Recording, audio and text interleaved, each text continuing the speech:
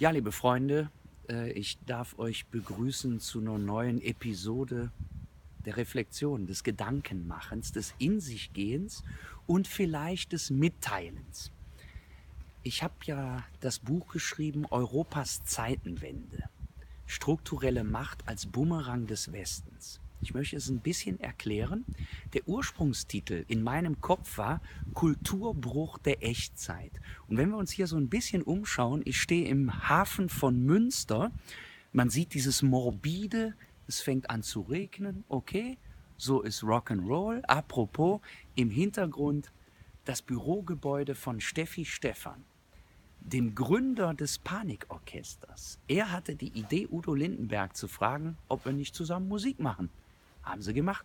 Seit 50 Jahren beste Freunde. Panikorchester gibt es auch schon seit über 40 Jahren. Wieso stehen wir hier und wieso kommen wir auf dieses Thema? Wir schauen uns einfach mal um und sehen, wirtschaftliche Konjunkturen hat es immer schon gegeben.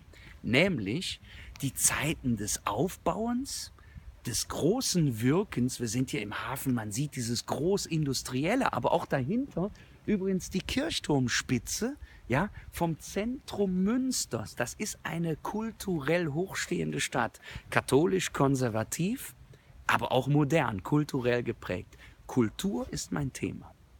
Ich mache jetzt ein paar Fortschritt und äh, bitte euch und auch Sie einfach nur drei, vier Minütchen zuzuhören. Man muss sich anstrengen, aber wir kriegen es hin.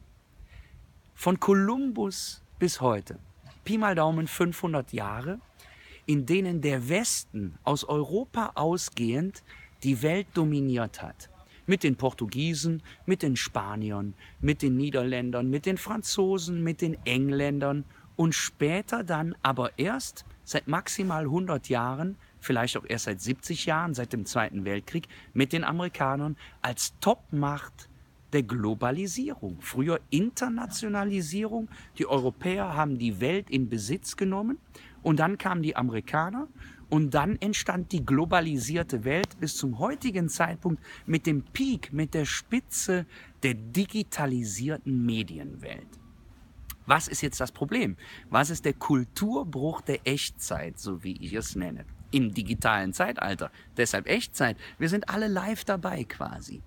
Früher war es so, dass es eine Wertigkeit an der Spitze der Menschheit gab.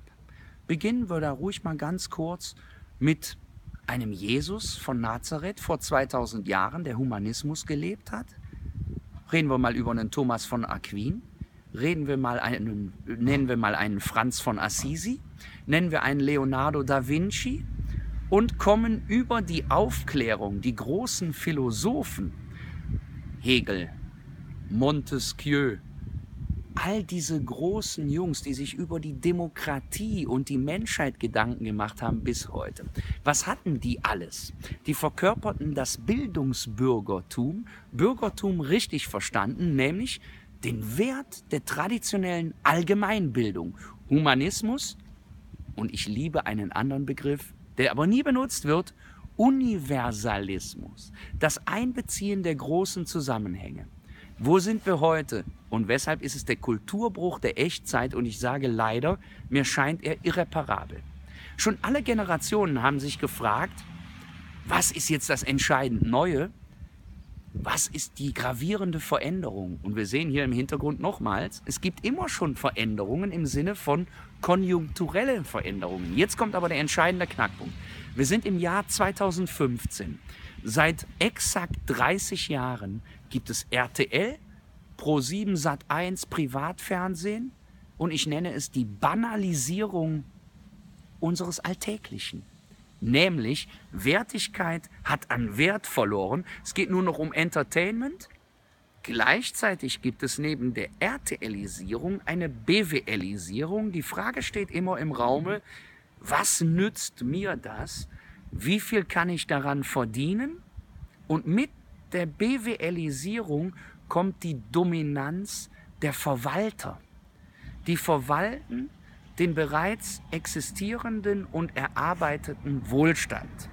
Jetzt wird es leider ganz kritisch für unsere Staatsspitze. Ich habe gesagt, 1985 kam der Kulturbruch Und in dieser Zeit gab es noch einen Bundespräsidenten wie Richard von Weizsäcker. Danach kam ein Roman Herzog, der vorher Chef des Bundesverfassungsgerichtes war, der höchsten Institution in unserem Rechtsstaat mit der Gewaltenteilung. Erste Gewalt, Exekutive, die ausführende Macht, Regierung mit Verwaltungsstrukturen. Zweite, Legislative, Parlamentarismus, Erdenken der besten Gesetzgebung zum Wohle der Allgemeinheit. Dritte Gewalt, Unabhängigkeit der Justiz mit dem Bundesverfassungsgericht an der Spitze, um die Dinge immer wieder innerhalb der Normen gerade zu ziehen, zum Wohle der Gesamtheit im Rahmen der verfassungsmäßigen Ordnung. Und dann gibt es so etwas wie einen weichen Faktor, die vierte Gewalt, das sind die Medien, die das alles kritisch begleiten sollen. Diese vierte Gewalt versagt in letzter Zeit. Die Medien nehmen den eigenen Anspruch der Qualitätsüberprüfung durch kritisches Hinterfragen und Reflektieren nicht mehr ernst, sondern sie wollen nur noch Entertainment, Bespaßung, ich nenne es Primetime-Berieselung um 20.15 Uhr. Das gab es jetzt immer schon in den letzten 30 Jahren. Wie gesagt, bei RTL, Pro7, Sat1, Kabel 1, Super RTL, RTL 2, das ist quasi potenziert RTL 2. Jetzt kommt der Clou. An der Staatsspitze steht mittlerweile wer? Angela Merkel, eine Kanzlerin, die es politisch, organisatorisch gut macht, aber gleichzeitig Türe ist auf, Steffi.